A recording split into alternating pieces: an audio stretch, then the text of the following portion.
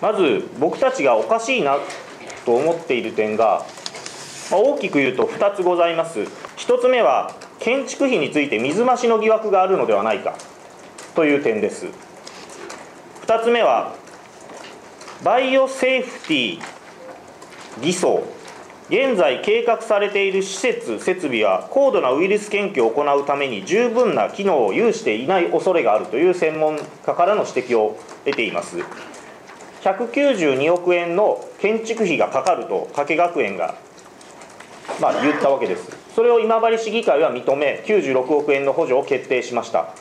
その192億円がどうもそんなにかかりそうにない。というところで建築費の水増しによる場合によってはその補助金を不正に詐取しようとしているのではないかという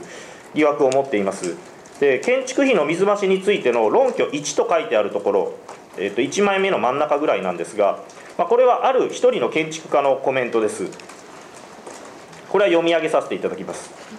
建築の仕様としては鉄骨造であり壁は6センチの成形コンクリート板床は配管配線などの底上げのないコンクリート打ち室内壁天井は石膏ボードにビニールクロスであって何一つ高いものはなく倉庫に毛が生えた程度の仕様である。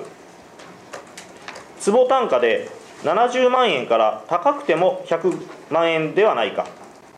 とても150万円するとは思えない、えある商業施設なんかは下手をすると坪45万円ぐらいで建築を受注することもあります。というコメントがあります。でここの坪150万って書いてあるところに関してえっと私どもまあずっと言ってきた部分なんですがさっきの192億円の総事業費の中で加計学園は建築に関して148億かかりますと言ってきました。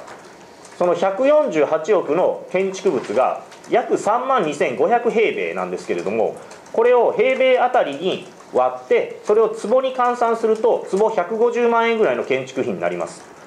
このまず建築仕様を専門家が見た時にすごく乱暴に言うと倉庫に毛が生えた程度のレベルであって、まあ、坪70万円ぐらいが妥当であろうと。どんなに高くても坪100万円であろうと。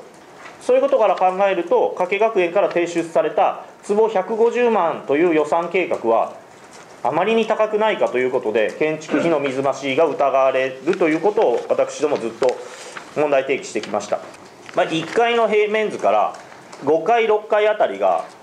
高度なウイルス研究をする研究エリアになっているんですけれども、まあ、その研究エリアのレイアウト動線設備広さそういうのを見るに素人が作ったものとしか思えないという指摘が入っています。これが A さんのコメントです。B さんの意見。これも全部読み上げるのは割愛いたしますが、まあ、簡単にバイオハザードが起きる。感染防御がまるで分かっていない人間が設計している。この道の専門家が見たら一発でバレるインチキな設計がたくさんある。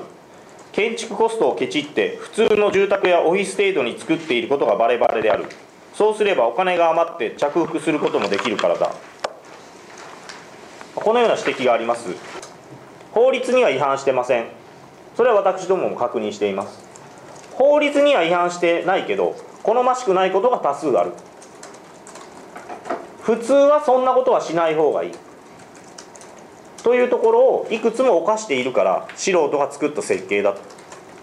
まあ、総理がお尻を切ったから平成30年4月開学を目指してやったから早く建てないといけないんで鉄骨造の建物にした、まあ、そのような理由があるのではないかと推測されています。つまり人の命を守ろうとか本当に国家戦略にのっとった高い研究をしようとかっていうことはなくて自分たちが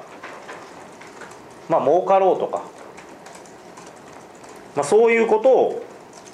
重んじて今回の建,、まあ、建築計画大学の設置が行われたんじゃないかということは、